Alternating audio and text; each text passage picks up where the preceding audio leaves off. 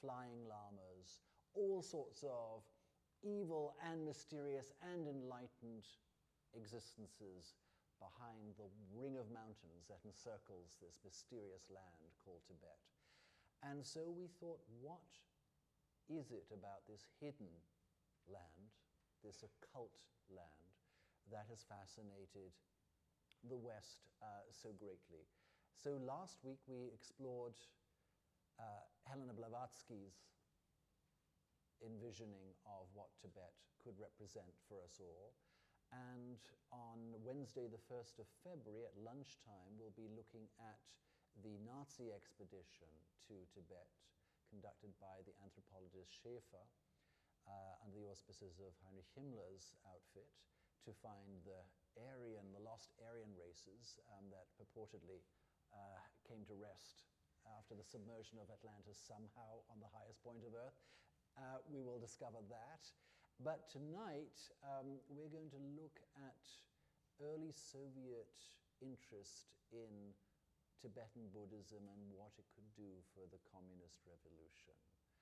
And it's a fascinating, multifaceted tale. And uh, Andrei Znamenski is the person to talk about it because he's made this his specialty, esotericism in uh, Russia and the East. He um, has taught in a number of places, uh, the University of Hokkaido in Japan, for example, and the University of Memphis and Alabama State University, and now he's here in New York City after an absence um, of a number of decades to bring the story of Red Shambhala to us all tonight here at the Rubin Museum of Art. So, Andre, welcome, and welcome back to New York.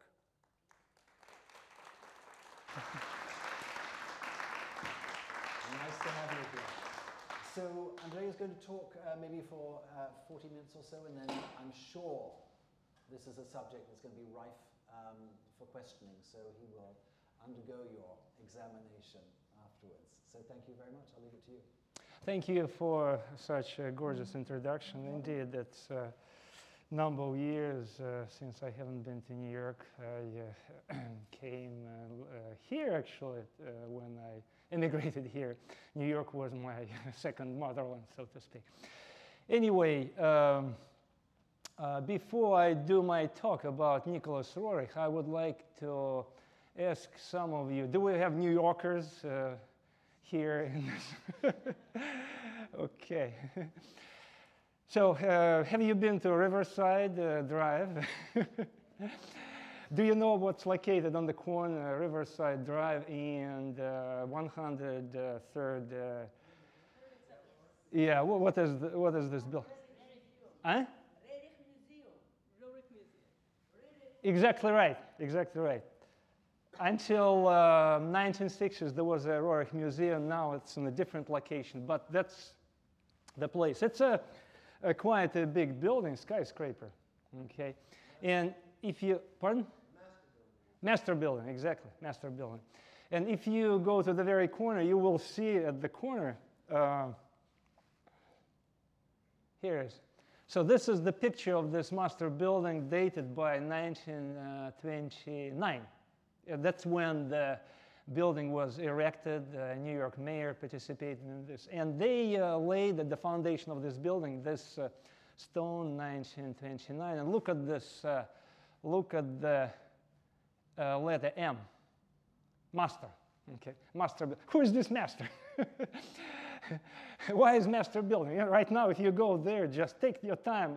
Uh, New Yorkers, of course, you know, but those of you who uh, tourists came to visit, uh, go there, take train one, and explore the building. Uh, what does it mean, M, let M? Let M stood for Master Morya, Morya. It's Otherworld teacher of Nicholas Roerich. Okay. So today, uh, my talk is about this uh, Russian American uh, who mo moved to the United States in 1920, and we can call him Russian American artist, and about his uh, quest for Shambhala. And one thing I want to uh, draw attention, not many people know about, it's not only about his quest for uh, sacred Shambhala. It's about his attempt to fulfill this prophecy. That's what makes it interesting. So he was the one who tried to fulfill it. He wanted to, uh, based on the Shambhala prophecy, he wanted to build so-called the sacred union of the East, spiritual theocracy that would bring all Tibetan Buddhist people together. Quite bizarre, eh?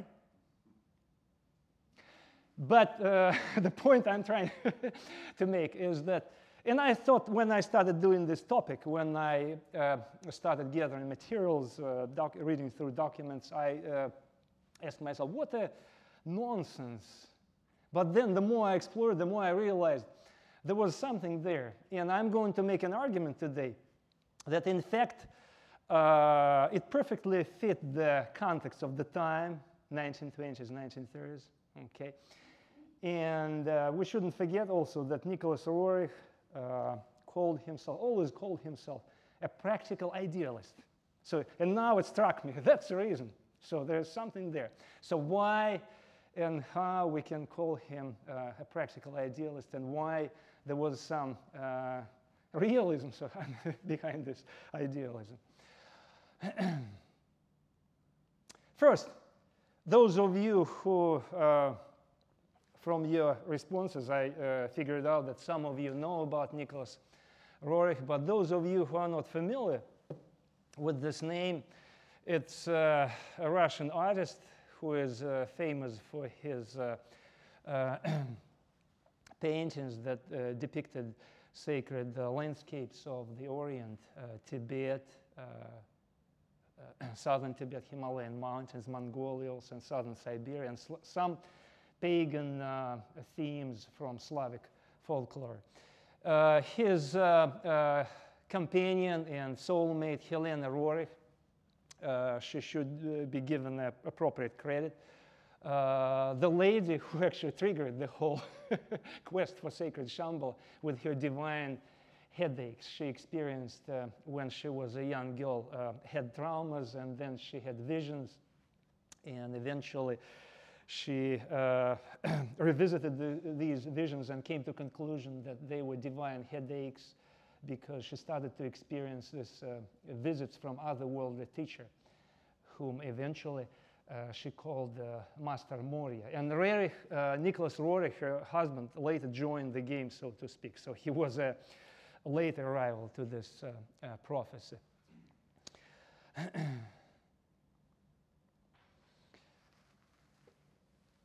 Uh, I want to stress that my book, which you can find in the book museum bookstore, it's not only about uh, Nicholas and Helena Roerich. There are only two chapters about them.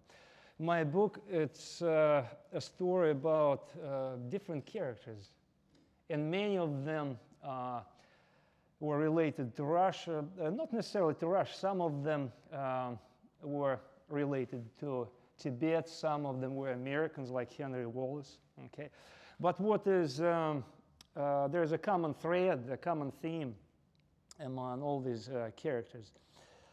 They uh, believed almost in a Gnostic manner that uh, they could find some absolute knowledge. And by using this absolute knowledge, they could build um, a spiritual or political paradise on this earth.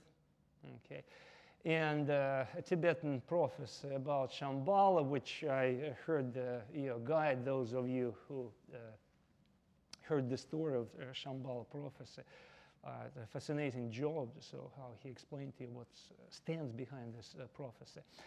So the reason they wanted to use this prophecy, these outsiders, Russians, Americans, and some indigenous Siberians who came to learn with, who came to learn the Tibetan wisdom in uh, Tibet. They wanted to uh, promote their spiritual and political schemes by using this prophecy. Okay? And Roerich was one of them, one of these people. There are a few chapters. Why did I pick up Roerich? Simply because, again, uh, we're here in New York, and uh, simply because Roerich, uh, a quest for Shambhala, somehow was related to New York City and to this building, master building that uh, was erected in 1929. So that's the only uh, reason. All right, where shall we start? mm. Let me show you this brief uh, video, like uh, uh, an introduction, and you will uh, see it's like a three minutes. It's uh, uh, a trailer for one of the chapters of my book. So I found out that's uh, the best way to give my readers what uh, uh, the book is all about. I prepared, I made it myself, a few video clips. So could we do this, please?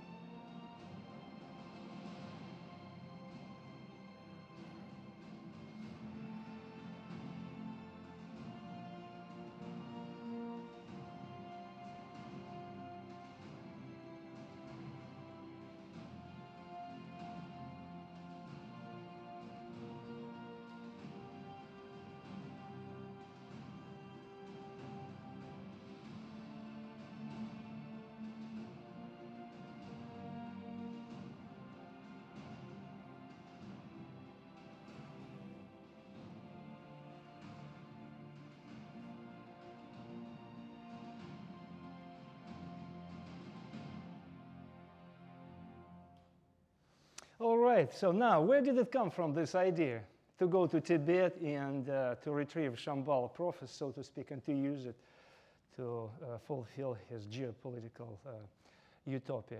Uh, today I'm going to mention some of these sources, and again, uh, some of these names you uh, have heard from your guide. I'm glad that tour guide that he alerted you about this.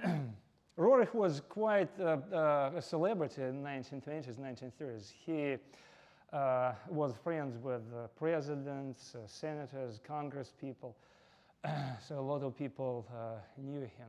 Okay, these some of the samples of his art. Definitely, he was steeped in Oriental spirituality.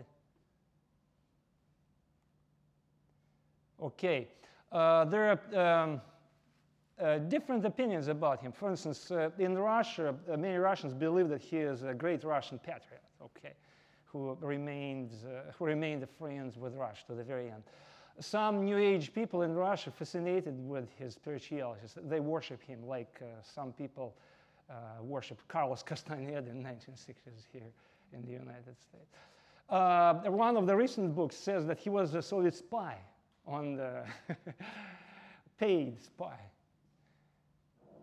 Uh, in the United States, he is also uh, known as a dangerous guru who seduced Henry Wallace, FDR vice president, because uh, Henry Wallace was part of his esoteric circle. If you don't know about, read about this in uh, my book, a very interesting story, but I saved it. Decided not to tell about it. read it on your own. okay, in 1923, something happens in Tibet that uh, uh, prompted Roerich to come from New York urgently to Tibet and to start his uh, quest for Shambhala. What happened? Panchen Lama, the second in command in Tibet, escaped from Dalai Lama. Dalai Lama, 13th Dalai Lama, was angry with him because uh, Panchen Lama uh, refused to pay taxes. Uh, does everybody know uh, who Panchen Lama is? Okay, no? Okay. Panchen Lama was, uh, uh, historically, he was considered the spiritual tutor of, uh, uh, Panchen Lamas were spiritual tutors of the Dalai Lamas. Okay. Because in early Middle Ages, uh, uh, that was the role of Panchen Lamas. So in contrast to this stereotype, we have that Tibet was also dominated by Dalai Lamas. It's not exactly true. Okay. First, it was like a, a feudal kingdom, and Panchen Lama was a powerful uh, uh, landlord, lord, who had a lot of privileges. Okay, and one of the privileges was not to pay taxes to Lhasa. Okay, in the modern times, when uh, 13th uh, Dalai Lama decided to build up uh, Tibet as a modern state, he tried to uh, downgrade the independence of these local monasteries, and of course, Panchen Lama was the first target. So he tried to force him to pay uh, taxes. Panchen Lama didn't want, so to make a long story short, he escapes to Mongolia, 1923. Uh, historically, Panchen Lamas were considered the uh, holders of this uh, Shambhala prophecy because in the 18th century, one of the Panchen Lamas wrote a guidebook, How to Reach Shambhala Kingdom. Okay, so here is the occult sign for Rory. And by this time, Roerich, who intensively read Blavatsky, uh, Roerich and his wife started to receive messages from the other world, from Master Morya. Okay, so go to Tibet, go to Tibet, and one of the messages was uh, uh, very strange. Uh, Master Morya, the other world uh, teacher, told uh, Roerich through Helena that uh, was fifth Dalai Lama. He is reincarnated fifth Dalai Lama. And here is Panchen Lama in 1923 who escaped. So for him, it was a sign that I have to go there. Okay. So he goes there and triggers uh, certain things, and I will, I'm going to mention these uh, interesting things. Um, so uh, Roerich uh, makes uh, uh, Dalai Lama robe for himself, and his son, George, comes with him also in the Lama robe. Okay. They go to Darjeeling, northern uh, Indian town. And uh, there in 1923, uh, he was recognized by some Tibetan monks, visiting Tibetan monks, as their incarnated Dalai Lama. So, and of course, he used it uh, to boost up his uh, credentials. Okay. uh, and by the way, he purposely, in order to, he didn't simply sit uh, waiting to be discovered as the reincarnation of the fifth Dalai Lama. He actually settled in the house that was called the Dalai House in Darjeeling.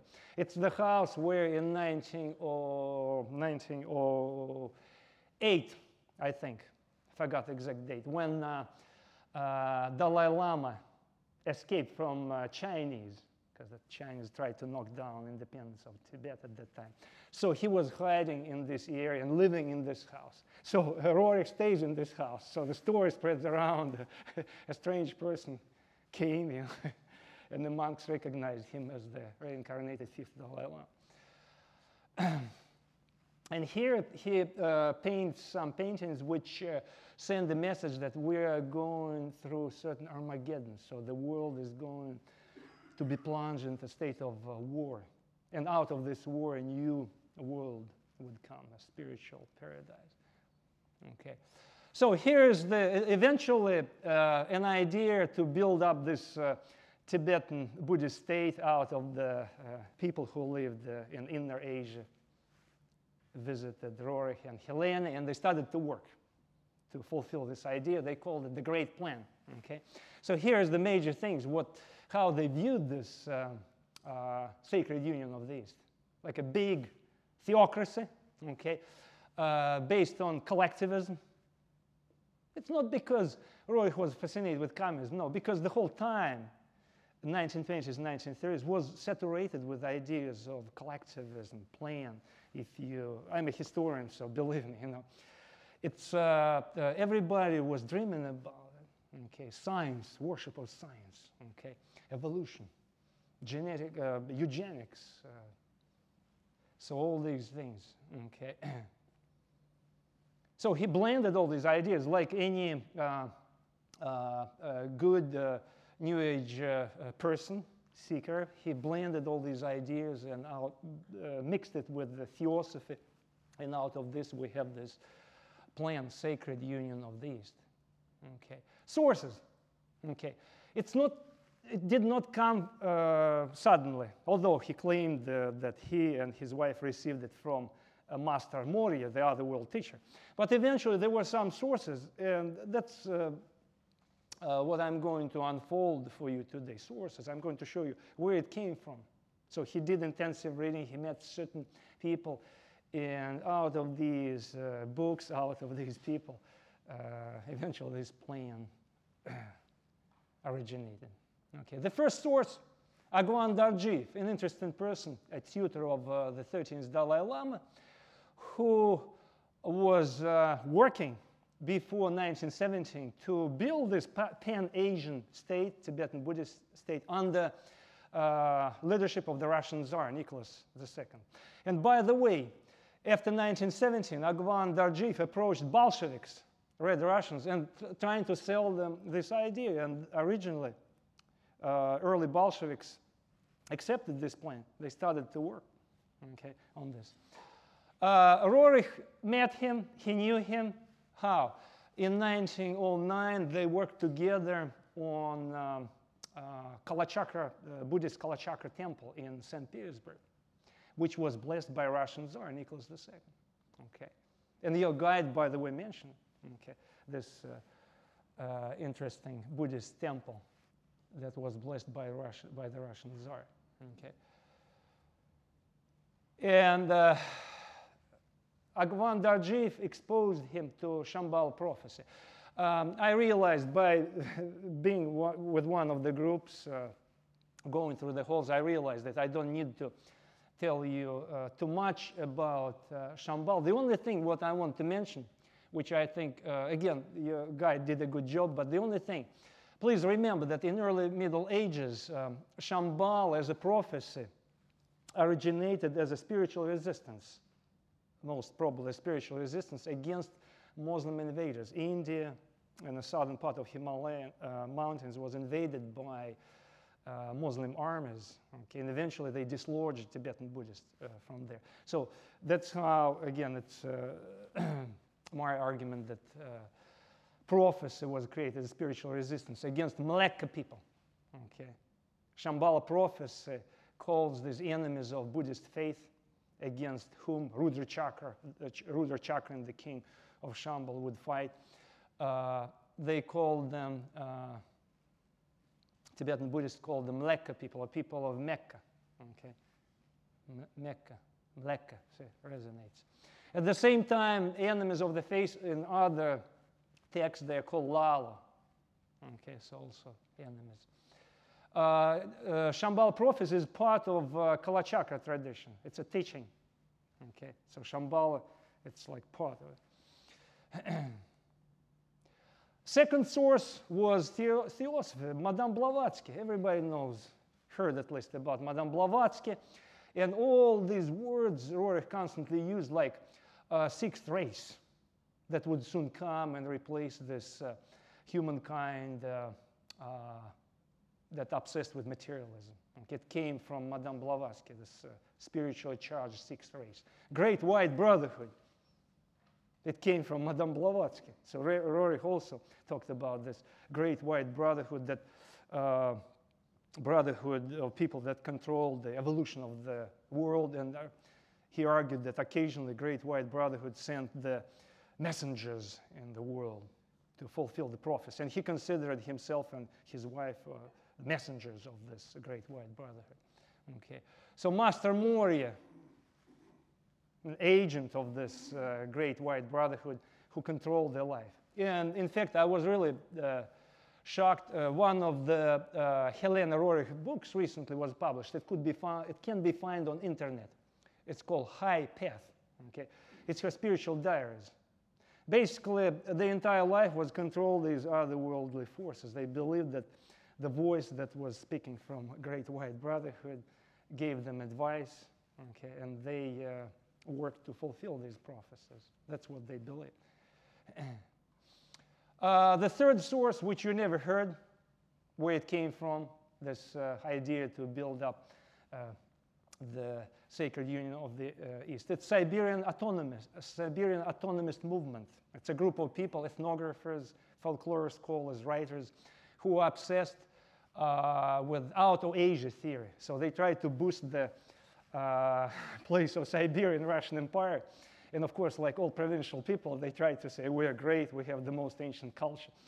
So eventually, uh, to some extent, that uh, uh, these people, autonomous, they preceded the present day, uh, I would say, multicultural historians, yeah, who say that Mongols were spiritual heroes, okay, creators of civilization. Again, I don't deny this, but uh, they were the first, and the source of this uh, philosophy was their uh, provincialism because they wanted to raise, to boost the uh, place of Siberia within the Russian Empire. And uh, they talked a lot about Mongols, southern Siberia.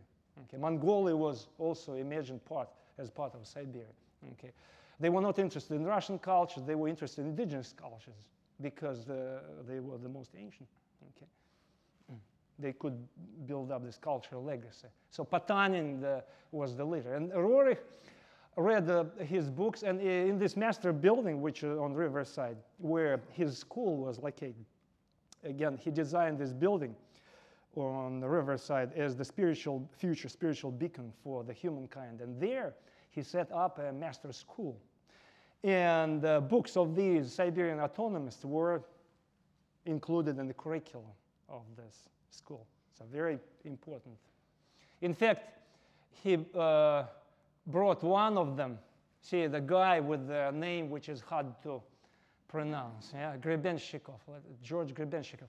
He brought this emigre writer from Paris, one of Siberian autonomists, uh, to advise him here in New York how to proceed. Okay. and he gave him a esoteric name Turukan. Turukan. It means Tarlik Khan, one of the ancient uh, uh, Mongol princes. In fact, in the Roerich circle, this uh, uh secret circle, everybody had esoteric names. Okay. He himself uh, uh, called himself Fuyama. Helena Roerich was Urusvati.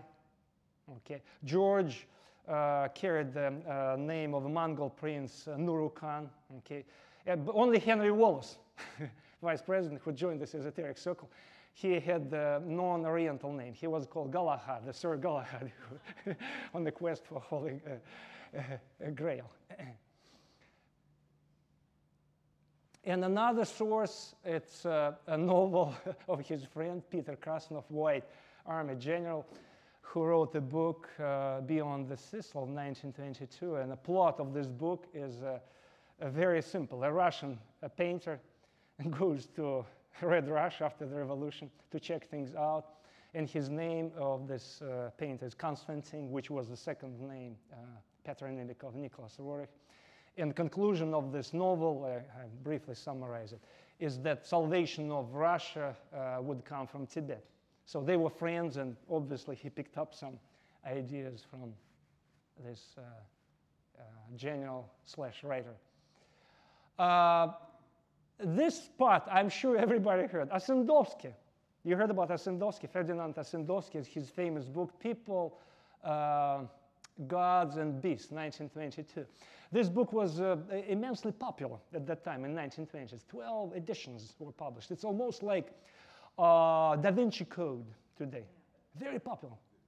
It's a story about uh, bloody white baron, this renegade white army general who hijacks briefly Mongolia and also wants to build up this huge Buddhist empire in Inner Asia.